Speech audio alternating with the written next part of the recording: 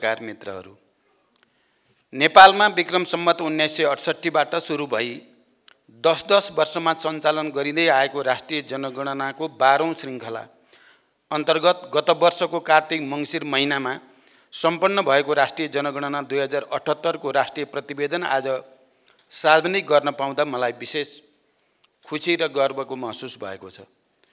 नेपालको सन्दर्भमा जनगणना देशकै आर्थिक सामाजिक स्वरूपको यथार्थ स्थिति प्रस्तुत गर्ने एक महत्त्वपूर्ण तथा बृहत तथ्याङ्कीय कार्य हो।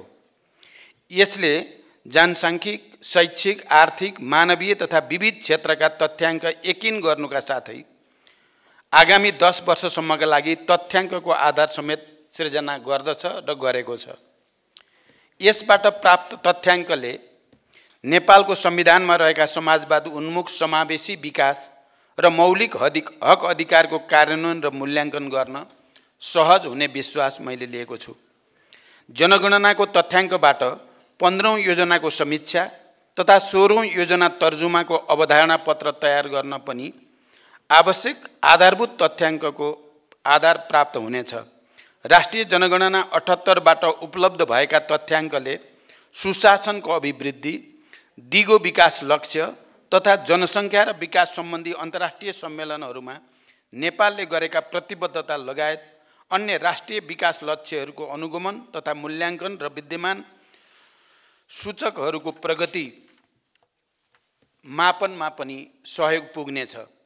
सङ्घीय व्यवस्थाअनुसार सङ्घ प्रदेश र स्थानीय तहहरूलाई नीति योजना र कार्यक्रम तयार गर्दा तथ्यमा आधारित निर्णय गर्न पनि थप आधार प्राप्त हुनेछ। प्राप्त नतिजा समग्रमा हेर्दा कम उमेरका व्यक्तिहरूको सङ्ख्या क्रमशः घटेको बढी उमेरका व्यक्तिहरूको सङ्ख्या क्रमशः बढेको देखिनुले जनसङ्ख्याको वृद्धि सन्तुलित नभएको देखिन्छ। समग्र जनसङ्ख्याको वार्षिक वृद्धि दर घट्ने क्रममा रहेको देखिएको छ। विशेष गरी हिमाली र पहाडी तथा ग्रामीण क्षेत्रमा जनसङ्ख्या वृद्धि दर द्रुत रूपमा घट्ने क्रममा रहेको देखिएको छ भने तराई तथा सहरी क्षेत्रहरूमा यो दर दर बढ्ने क्रममा देखिएको छ।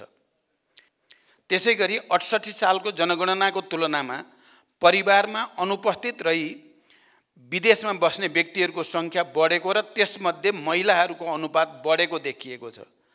हाल प्रष्ट रूपमा देखिएको जनसाङ्ख्यिक परिवर्तन बमोजिमका जनसङ्ख्या व्यवस्थापनका विशेष कार्यक्रमहरू सञ्चालन गर्न जनगणनाबाट प्राप्त तथ्याङ्कले ठुलो सहयोग पुग्ने विश्वास मैले लिएको छु। सारांशमा महिला परिवार मुली भएका परिवारहरू त महिला परिवार मुली भएका परिवारहरू तथा परिवारमा उपलब्ध सञ्चार लगायत अन्य साधन सुविधा सफा खानेपानी प्रयोग गर्ने बिजुली प्रयोग गर्ने खाना पकाउन आधुनिक इन्धन प्रयोग गर्ने शौचालय सुविधा भएका परिवारको अनुपात वृद्धि भएको छ। साक्षरता दर छैसठी प्रतिशतबाट बढेर करिब छिहत्तर प्रतिशत पुगेको देखिएको छ। तर धेरैजसो सूचकहरूमा ग्रामीण र सहरी क्षेत्रका बिचमा असमानता कायमै देखिएको छ जसलाई सम्बोधन गरी नेपालमा विद्यमान असन्तुलित बसाइसरालाई व्यवस्थित गर्नुपर्ने देखिन्छ। जनसङ्ख्या तथ्याङ्क नेपालको तथ्याङ्क प्रणालीको एक अभिन्न अङ्ग हो।